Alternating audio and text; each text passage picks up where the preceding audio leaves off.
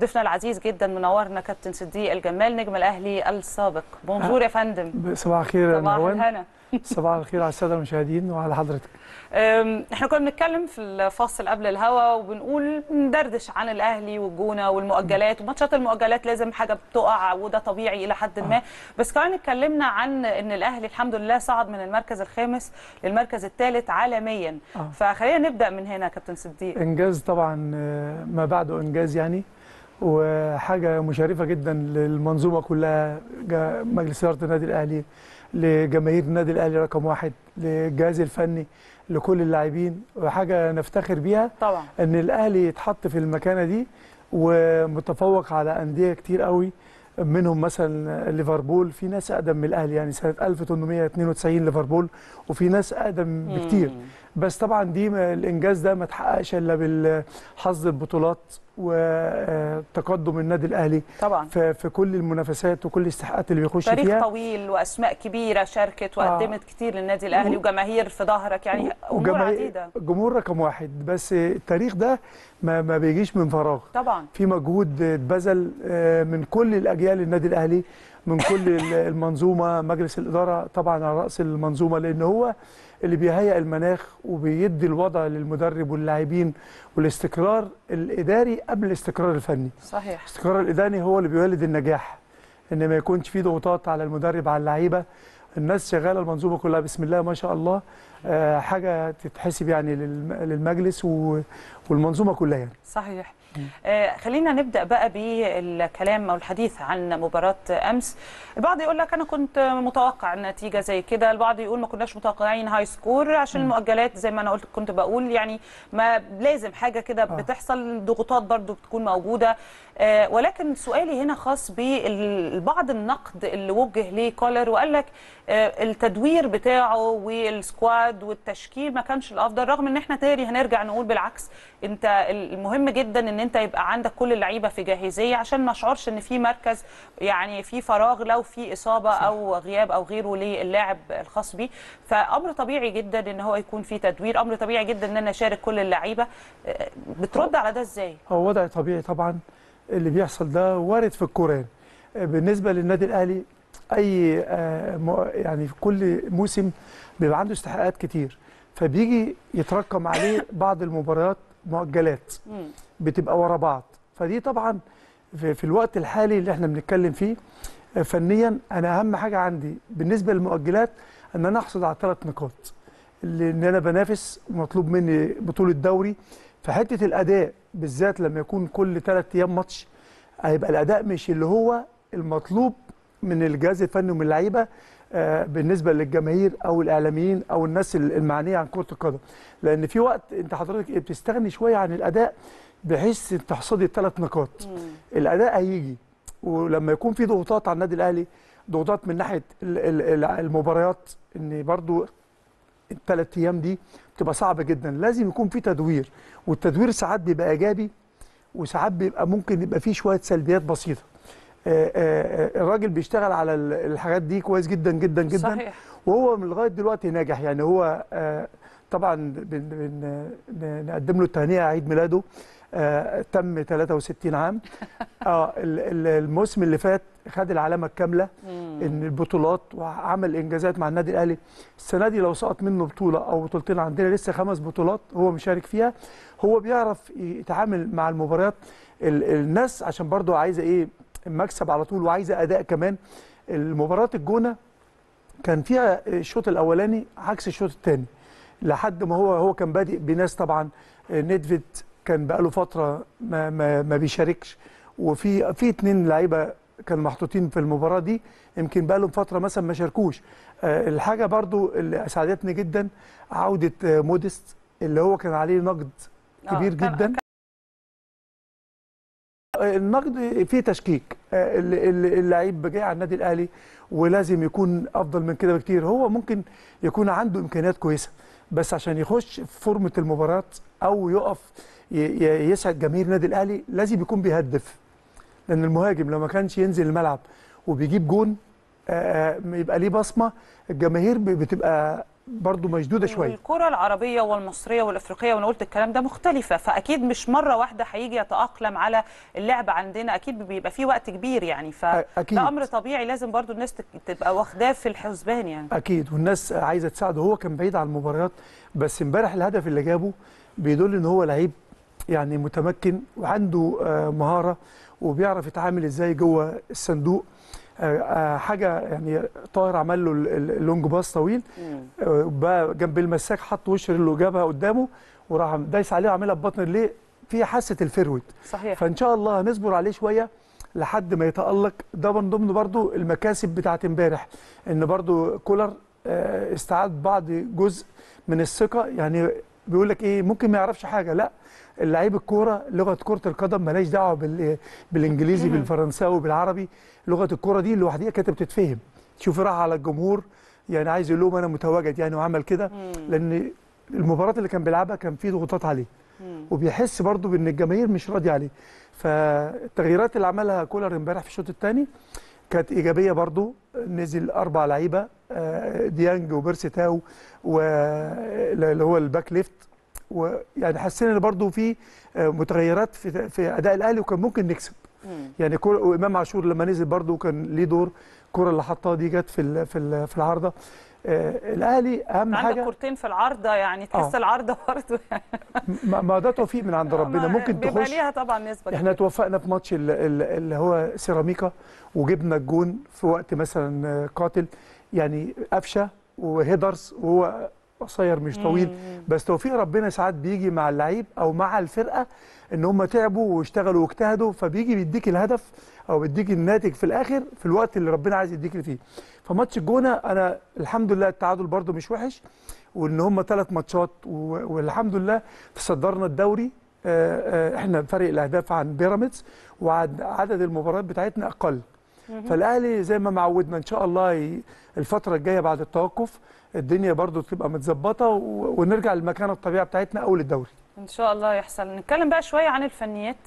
امبارح آه، الجونة أعتقد إن إحنا كلنا كنا عارفين إن الجونة كالعادة بيلعب بشكل دفاعي بحت. مع- يعني لم نفاجئ يعني بالأمس. آه. طيب اللعب الدفاعي البحت ده بيتطلب إن أنت تضغط علشان تعمل آه، أو تقدر إن أنت توصل. آه، شفنا الأهلي يمكن في الشوط الثاني شوية كان آه. آه، بيضغط. لكن بصراحة الشوط الأول كان الجونة هو اللي ضاغط. كان ما كنتش أقل- عارف آه يعني أقل شوية. بالظبط يعني هجمات الاعتماد على الهجمات المرتدة أكتر. آه. ما ما كانش في جيم تقدر يعني آه، تقدر تسيطر عليه بمعنى أصح. آه، هل التشكيل اللي إحنا لعبنا بيه مع التكتيك اللي إحنا لعبنا بيه كان الأفضل لمواجهة فريق دفاعي بحت؟ برافو عليكي. هو حصل متغيرات. إن كان في ناس أول مرة برضو تشترك. من البداية زي خالد عبد الفتاح آه، لاعب باك شمال واخده بال حضرتك وندفيد برضو بعيد عن المباريات. دول برضو آه، الحاسة بتاعت ال- ال- المباريات وإن أنت تكون رجليكي في الملعب بتختلف. فممكن يكون أثر بعض الشيء على أداء النادي الأهلي مش هما الاثنين بس. يعني ممكن إيه ال- ال- ال- المجموعة كلها. لما حصل تغييرات الشوط الثاني حسينا إن في الأهلي ضغط على الطرفين و- و- و- وفرات من ناحية الشمال ومن ناحية اليمين وهاني اشتغل شوية. يعني يعني برضه حسينا إن في آه، آه، تركيز أعلى من الشوط الأولاني. فبرضه أنت بتلعب الجونة في ملعبها. هو المدرب كل التقدير والاحترام ليه لما بيلعب النادي الأهلي هو يقول لك رقم واحد عايز البونت. إنما هو لو ده نازل بيلعب مفتوح وبيضغط عليكي أنت يبقى عندك مساحات عندنا آه، فروقات فردية وعندنا لعيبة على مستوى عالي جدا جدا. في أي وقت ممكن يجيبوا جوان. الشحات وطاهر وحتى موديس كان بيوصل بس الدنيا كانت مقفولة شوية. فأنا انت برافو عليكي حتة التكتيك الشوط الثاني اختلف بالتغييرات. لما تنزلي آه، حضرتك أربع لعيبة فرقوا مع تيم النادي الأهلي. وهو برضو انكمش أكتر علاء عبد العال فأنت سيطرتي. يعني الجونه ملهوش حاجة. هو الجونه كان بيعتمد على بالحاج وكان في لعيب اسمه اسمه ارنو اللي هو الأجنبي. واللعيب الثاني ده الاعتماد الكلي في المرتدة. ال- بالحاج اللي هو جاب ضربة الجزاء. كان لعيب كويس برضو مغربي. فالشوط الثاني ما كانش فيه الحاجات دي كلها بالنسبة لل- لل- للجونة. لأن ضغطنا آه، آه، من من الأطراف ونص الملعب كان في امتلاك وسيطرة كاملة لفرقة النادي الأهلي. بس طبعا التوفيق ده طبعا بيبقى وارد يكون معاكي وممكن الكره عندك شوية. فأنا شايف إن الشوط الثاني أفضل من الشوط الأولاني كمجمل اداء النادي الأهلي امبارح. هو يعني في كلام كتير إحنا عشان عندنا فاصل دلوقتي اذان بس حابة أطرح السؤال لغاية لما إن شاء الله نرجع من الفاصل سريعا يعني. أم، فكرة هنا برضو لما أنا أتكلم عن يعني آه أنا دلوقتي بلاعب منافس جديد إلى حد ما برضو أو منافس آه، في فوارق كبيرة جدا آه. عني. لكن أنا شايفه إن هو المنافس ده عنده طموح كبير وعنده إصرار كبير وبقى يلعب بشكل كمان يخليك أو يلفت نظرك. آه، ده ما كناش بنشوفه في المنافسات المختلفة آه، في المواسم اللي فاتت للدوري الممتاز. لأن أنت كنت بت... خلاص هم ثلاث أربع فرق اللي في الآخر عارف إن هم هيصفصف عليهم الترتيب والجدول وبتبقى حافظ لعب كل فريق منهم. لكن دلوقتي مع صعود بعض الأندية والتألق الموجود والصفقات وده ورأس المال بيدعموا الفرق بالظبط صح بقى صح. شكل الدوري المصري المنافسه قريبة وأنا أشوف إن ده بالمناسبة حاجة إيجابية إيجابي. جدا صح. لكن ده بيت- بيخليك برضو عندك بعض المتطلبات المهمة آه. اللي لازم تركز عليها واللي لازم تبتدي كمان تعمل لها حساب فدي النقاط اللي هنرجع ليها بس نطلع فاصل الأول تمام. فاصل أذان سريع جدا ونرجع حديثنا لسه مستمر مع كابتن صديق الجمال خليكم معانا رجعنا لحضراتكم مرة كمان وكابتن صديق أقول السؤال تاني ولا خلاص لا بقى؟ خلاص أنا حفظت يعني. عشان الوقت. آه. اتفضل. أنت حضرتك بالنسبة للفرق اللي هي بتلعب النادي الأهلي أو الأول كانت البطولة محسومة يعني في منافس وفي منافس بعديه وفي فرقتين أو أو واحد أو اثنين زي مثلا الأهلي الزمالك الإسماعيلي. الأول كان ساعات مثلا بعض المصري الاتحاد. دلوقتي ما شاء الله ال- المستويات بقى متقاربة والفرق أصلا كلها اللي بتلعب النادي الأهلي بتبقى أول حاجة عندهم تدعيمات كويسة جدا جدا وبيشتغلوا على نفسهم وبيجيبوا لعيبة كتير وبقى يصرفوا. عكس الأول الحتة دي ما كانتش موجودة. فبيجي بقى في المباريات تلاقي المستوى ممكن يكون قريب جدا امت- امتلاك الكرة الفرق صحيح. دي بيبقى عندها برضو آه، النزعة الهجومية. الأول كان الفرقة تقف مثلا 70 80 دقيقة بتدافع في في في نص ملعبها. دلوقتي آه، بيلعبوا على المرتدات جايبين مثلا عناصر مميزة جدا جدا لأن أغلبية الفرق وعلى سبيل المثال مثلا زيد عمل آه، تدعيم كويس جدا جدا خد لعيبة من النادي الأهلي. جايب مثلا مصطفى زيكو ده من حرس الحدود لعيب كويس جدا جدا والدفع فيه مبلغ كويس. فاللعيبه دي بتصنع الفرق مع فرقها عكس الأول. تلاقي. المستوى كان إيه بعيد شوية إنما دلوقتي حضرتك زي ما الأهلي بيعمل تدعيمات أو الزمالك أو الفرق الكبيرة فالفرق الصغيرة ابتدت تشتغل على نفسها وابتدت يمسكوها رجال أعمال وناس مستثمرين عشان كده هتحس إن المستوى إن في ندية في المباريات يعني حضرتك مع تدخل رأس المال في الكرة المصرية لأن أتى ثمارة بقى أصبح في تنافسية أكبر طبعا. والتدعيمات اللي حصلت كمان خلت بعض الفرق إن هي خلينا نقول تدي متعة. للدوري المصري غير إن إحنا أو المنافسين التقليديين هتكلم النادي الأهلي ليها دور في في في بطولة الدوري وبيبقى ليها تأثير في حسم البطولة وبيجمعوا بناط وبرده كل عندهم طموح. الفرقة عايز تاخد كاس عايزة تنافس على بطولة الدوري. وحاجه مبشرة جدا زي البلدية مثلا. جاي من بعيد خالص آه، اتفرجت له على أكتر من مباراة. بداية ماتش المقاولين اللي كسبوا في الأول وعمل مباريات كبيرة. باين اللي هو آه، ما شاء الله اشتغلوا على نفسهم وليهم دور. في أكتر من من من عنصر في الدوري المصري هيبقوا مميزين الفترة اللي جاية. وبيشتغلوا على نفسهم معاه مدربين وجايبين لعيبة فدي كويسة للمنتخب. مم. وكويسة لصالح الكرة المصرية. صحيح متفق مع حضرتك جدا. وكويسة للنادي الأهلي في الأول وفي الآخر أنا قلت الكلام ده في الإنترو. أنا مش عايز حتى وأنا رقم واحد إن أنا أنافس نفسي أو أنافس منافسين ضعاف أو مستواهم يعني أقل بكتير أو حتى منافس تقليدي كل سنة. لا عايز يبقى فيه متعة حقيقية كمان الأهلي في بيستفيد الدوري. بيستفيد طبعاً. من الاحتكاكات لأن عنده استحقاقات بره. بيلعب في أفريقيا بيلعب بطولة عربية بيلعب أي حاجة تصفيات. الفرق اللي بيلعبها بره بتبقى قوية. صحيح. فلازم المستوى في مصر يبقى قوي وده عشان المنتخب كمان. طبعا. أنت عارف المنتخب داخل على استحقاقات إحنا هنتكلم عن المنتخب دلوقتي طبعا آه. استعدادات كأس العالم وعندنا آه. مباريات تصفيات. جيبوتي وعندك يعني سيراليون آه، مباراتين مهمين آم، منافسين برضو أقوياء. آه، خليني أروح مع حضرتك بداية هنا. المنتخب آه، طبعا آه، مستر فيتوريا آه، اختار 25 لاعب وهو راجل منظم جدا وزي ما اتفضلت مع حضرتك قبل كده لعب مباريات كتير ما خسرش إلا مباراة واحدة اللي هي بتاعه تونس الودية. وكان برضه ناقص لعيبة النادي الأهلي كان عنده ظروف. والناس هو- وقتها انتقدت وقالت لك أول مباراة بجد أو أول مباراة حقيقية وما قدمتش الأداء المطلوب يعني. بالعكس. فاكرين إحنا هو الانتقادات لاعب دي. على الجزائر مباراه مباراة كبيرة جدا جدا. والجزائر تعادل معانا في الآخر. وكانت مباراة آه، احتكاك قوي جدا جدا. هو ما شاء الله ماشي بخطى ثابتة مع المنتخب.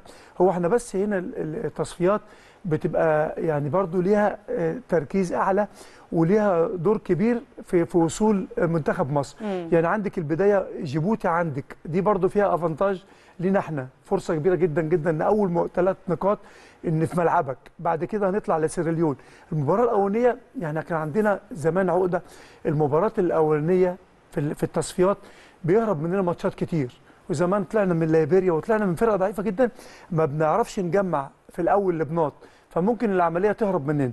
إنما دلوقتي الحمد لله الراجل مركز جدا جدا والمباراتين في المتناول. يعني عندك آه، المباراة اللي هي جيبوتي. يعني وضع طبيعي على الورق إن إحنا نكون أقوى. بس طبعا التصفيات دي ما ملهاش معايير ومفيش مقياس حقيقي إلا في الملعب. صحيح. إن برضه حالة المنتخب وظروف البتاع. فإن شاء الله بتمنى من الله المنتخب إن بقوة يجمع النقاط الأولانية. الماتش الثاني سيرليون في سيرليون إحنا المجموعة بتاعتنا معانا بوركينا فاسو فريق. قوي جدا. وإحنا برضه منتخبنا بوجود الحمد لله آه، آه، صلاح على راس ال- ال- المنظومة واللعيبة المحترفين كلهم. دول هيفرقوا معانا آه، مع في المباراه بتاعة المنتخب. وأنا ان شاء الله بإذن الله شايف ان إحنا هنروح في حتة كويسة ونضمن التأهل بإذن الله لأن ال ال ال ال الوضع المجموعة كل الناس بتقول لك منتخب مصر. بإذن الله بإذن الله. منتخب مصر ما تاخدناش بقى الحتة إن إحنا نرتاح آه. لأن فيها خطورة عليكي لو ما جمعتيش بنط في الأول. صح. فدي لازم يكون في تركيز عالي جدا جدا إن شاء الله من اللعيبة كلها. وأنا شايف المدرب ماشي يعني بخطى ثابتة وبيتعامل آه، باحترافية مع اللعيبة والناس اللي بيضمها وتشكيلاته إن هو مركز جامد يعني مع الفرقة. منتخب الشباب سريعا والمنتخب الأولمبي. خليني برضو أروح معاك آه، ليهم كابتن صديق لأن إحنا منتخب الأولمبي متابعينه بقالنا فترة طبعا آه. وإلى حد ما الأداء مش هقول مرضي 100% لكن أنت مطمن شوية إن ما- أنت عندك squad كويس جدا برضو أكيد. و- وعندك أمل فيهم كبير. والمدرب كمان والمدرب. منتخب الشباب دلوقتي أنت بتتكلم لسه تشكيل جديد طبعا بقياده كابتن وائل رياض آه. وعندنا برضو أمل كبير جدا. نتمنى ليهم كل التوفيق طبعا. آه منتخب اللي هو الشباب برضو في حاجة كويسة. إن عندنا احتكاك يعني إيه قوي جدا جدا جدا. عندنا البطولة هي في في شمال أفريقيا دي في تونس. معانا الجزائر ومعانا تونس ومعانا المغرب ومعانا ليبيا. أربع مباريات في عدد أيام أقل. مم. احتكاك قوي جدا جدا. اللعيبة كلها صغيرة وكابتن وائل عامل توليفة كويسة. يعني اختار العناصر المميزة من الأندية كلها. وأنا شايف إن شاء الله البطولة دي هتوقف اللعيبة آه، واحتكاك قوي للمدرب كمان. بالنسبة للشباب بالنسبة للمنتخب الأولمبي أنا شايف المدرب ماشي برضه بخطى ثابتة. عندنا آه، الأولمبيات مع المنتخب الأولمبي في باريس على ما أعتقد. آه طبعا. آه وعندنا مجموعة لعيبة كويسة جدا جدا على رأسهم مثلا إبراهيم عادل وفي أسامة فيصل وفي حمزة حمزة علاء. علاء رائع آه وفي لعيبة تانية كتير عشان ما بفخسش حد. عملنا مباراتين كبار مع منتخب الأردن ولعبنا مباراة في. كان ملعب مولين العرب. وكسبنا المباراتين والراجل برضو شغال بخطى ثابتة وعنده فكر عالي جدا جدا. ال- ال- الحاجة الكويسة اللي برضو تتحسب للاتحاد الناس المسؤولة يعني المعنيين. على كرة القدم ملف كرة القدم في اتحاد الكره إن المدربين بتاع الفريق الأول وبتاع المنتخب الأولمبي حاجة كويسة ومبشرة. يعني كفاءة عالية جدا. كوادر كوادر محترمة يعني وليها خبرات كبيرة. الله ينور عليك. وأجانب والمدارس بقى يعني إيه صحيح. اللي هي الأجنبية العالية جدا جدا. وكلهم عندهم باع طو- باع طويل ومسكوا منتخبات ومسكوا فرق كبيرة في آسيا. صحيح. فأنا بقول إن شاء الله بإذن الله المنتخب الأول هو البداية بيفتح الطريق المنتخب الأولمبي منتخب الشباب لأن ال- الواجهة بتاعت مصر المنتخبات. صحيح. البطولة محسومة. الحمد بفضل الله يعني مش بقول والله عشان إحنا في قناة الأهلي. النادي الأهلي مسيطر وهو اللي بيسوق وهو اللي راكب بدليل البطولات وثالث العالم. فالحاجة دي ده نعمة من عند ربنا لينا إحنا كنادي أهلي. إنما المنتخب عايزين نشوفه في في الشكل اللي هو يليق اللي. يليق بقى باسم مصر وجماهير مصر بصراحة يعني. الله ينور عليك يا نواند بلعيبته بمحترفينا لأن ما ينفعش إحنا نبقى بعيد قوي شوف المغرب وكل التقدير والاحترام ليهم والجزائر وتونس. يعني معلش يعني المغرب عملت راحت كأس العالم عملت إنجاز كبير إن هي فوق. أنا مش عايز أروح أنا أفرح إن أنا أصعد. واجيب بطاقة تأهل صحيح. وأروح أتغلب مثلا من السعودية ومن اللي مش عارف منين. المنتخبات طورت من نفسها وكانت بعيدة جدا في مستواها الفني وعدد كمان سبقونا ترتيب شوية. البطولات وسبقونا للأسف الشديد دلوقتي الحق يقال لكن آه. نتمنى الفترة اللي جاية. ومهم الثقة إن إحنا تكون عندنا ثقة لأن مش ممكن المنتخب ده هيحقق حاجة لو أنت أصلا مش واثق في نفسك في الأول وفي مدرب, الآخر مدرب والنتائج على الأرض هي اللي بتجيب الثقة. والتجانس والمنتخب بيتلم كده زي. زمان مع كابتن حسن شحاته هيبقى عندنا منتخب قوي جدا جدا أنا عارف أنت عايز تختمي بس أنا اتفضل آه إحنا هقطعك يعني. آه، آه،. بتمنى الشفاء العاجل لنائب رئيس النادي الأهلي ال- الأستاذ عمرو فاروق آه. ربنا يشفيه يا رب. ويعافيه عشان هو كان في حالة صعبة جدا وما جدا زال للأسف يعني هو في غيبوبة حاليا آه. إن شاء الله. ربنا ياخد بيده ويشفي كل مريض وإن شاء الله يرجع لنا بألف سلامة للمجلس مع المجلس المحترم آمين. اللي هو وصلنا لثالث العالم وإن شاء الله نبقى كلنا في مكانة كويسة بإذن الله. آمين يا رب. مشكورك جدا كابتن صديق نورتني بجد على المستوى الشخصي. يعني حضرتك ليك معزه غالية جدا عندنا والله. ربنا يخليك يا نواند وأنا سعيد جدا لما بكون موجود مع حضرتك يعني. نورتنا كالعادة وبشكر. حضراتكم جدا ونشوفكم إن شاء الله أنا وكريم بكرة وحلقة جديدة و10 الصبح في الاهلي مع السلامة.